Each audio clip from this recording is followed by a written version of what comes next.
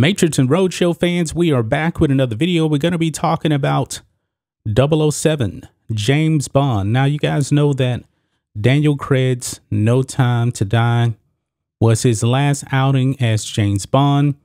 And Barbara Broccoli, who pretty much controls uh, James Bond, they are on the hunt for the next James Bond. And for the past couple of years or so, the name of Idris Elba has been in the conversation to become the next James Bond. Now, Idris Elba is a black man and he's also British. And Barbara Broccoli has been on record that uh, James Bond can be any color, but that the actor should actually be British. So Idris Elba is definitely going to be in that conversation. And it kind of got revitalized here lately because there was an interview with her and uh, this is what came out. James Bond producers say Idris Elba is part of the conversation to be the next 007. Now, I have not seen No Time to Die, but I'm pretty sure, you know, there's going to be a reboot of the franchise because we do know at the end of um No Time to Die, they killed off James Bond. And if I'm not mistaken, that was the first movie where they actually ended up killing off James Bond. But uh, that, that's Idris Elba there. I think he's a fantastic actor. I really do. But I also don't want to see him as James Bond. I don't want to see him as James Bond. To me, James Bond has a certain kind of look. Okay. Now, I believe that if Idris Elba does get the role, I do believe he will be overshadowed by the identity politics that will follow, and it will be created by the woke mob and uh, the media. We saw something similar with uh, Black Panther. Now, Black Panther, I thought was a very good movie. I absolutely love Black Panther. But all of the talking points had nothing to do with how good the movie was. It was about you have a predominantly black cast in this movie. That was the talking point. Nobody cared about how good the movie was in terms of the acting, the writing, all of that. It was nothing but identity politics. And I believe, you know, that Black Panther deserved better than that. I really do believe it. Race shouldn't even, even come into play because the media narrative, this was the first uh, black action movie of all time. When we know that was a lie. Spawn existed. Uh, Wesley Snipes is um, Blade. He existed too. That's both of those are from the 90s. And there's been other ones too. But let's move on. The producers of James Bond have said British actor Idris Elba is part of the conversation to be the next 007. Barbara Broccoli, with her brother uh, Michael G. Wilson, have produced the last nine Bond films, including Casino Royale, Quantum Solace, Skyfall, and Spectre.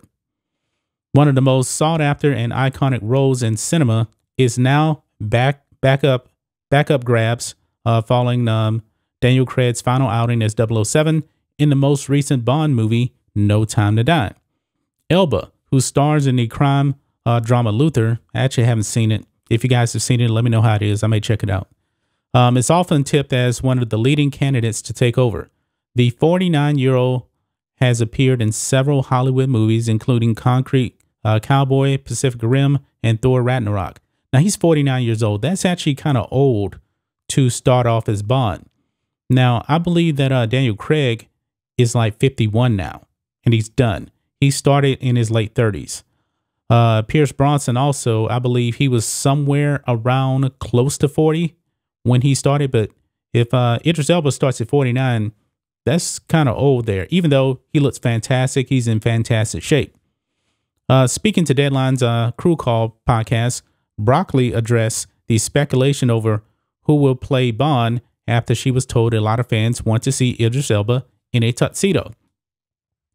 Broccoli61 said, Well, we know Idris, we're friends with him, and he's a magnificent actor. And, you know, it's part of it's been part of the conversation, but it's always difficult to have the conversation when you have someone in the seat.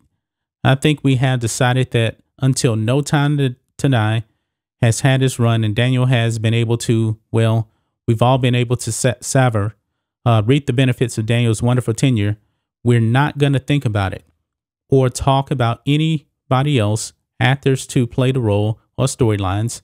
We just want to live in the moment. So he's in the conversation, but nothing is uh, set in, uh, in concrete at all.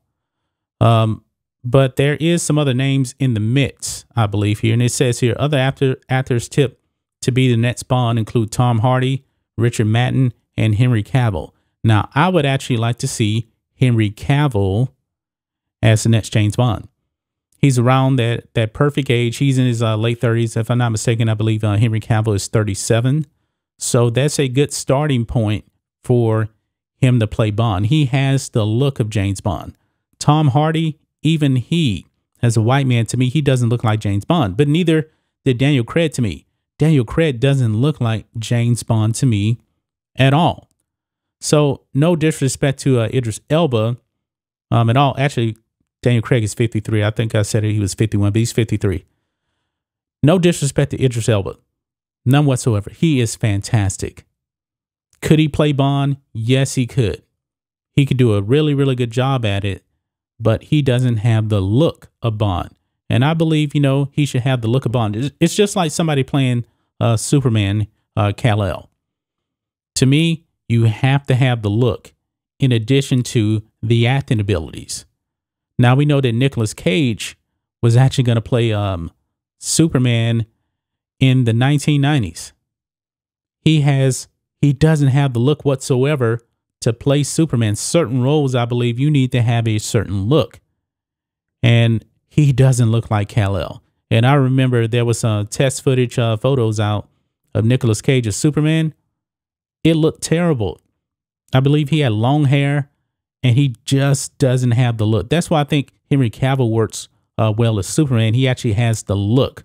And Christopher Reeve as Superman was perfect. He had the look and he had the acting ability um, at that. But what do you guys think of this? What do you guys think of Idris Elba being in the conversation to be the next James Bond?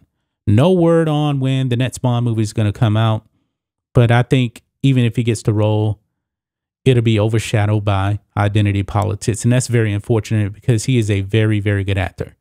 That's just my thoughts on this. What do you guys think of this Matrixx and Rhodes Show fans? Click, click the join button and become a channel member here.